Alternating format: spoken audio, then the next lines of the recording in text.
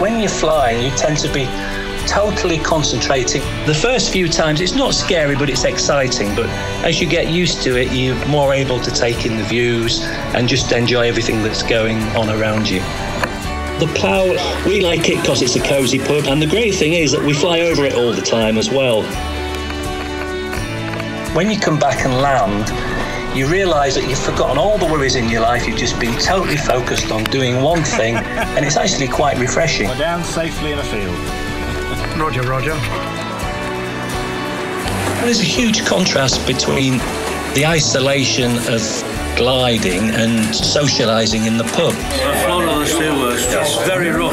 It's the most violent thermal I've Absolutely. Because we've all been on our own during the flights, it's nice to get together and just talk about what everyone's done. So we tend to go down the pub at the end of the day and just discuss what's been happening through the day. And without the pub, we wouldn't be able to do that.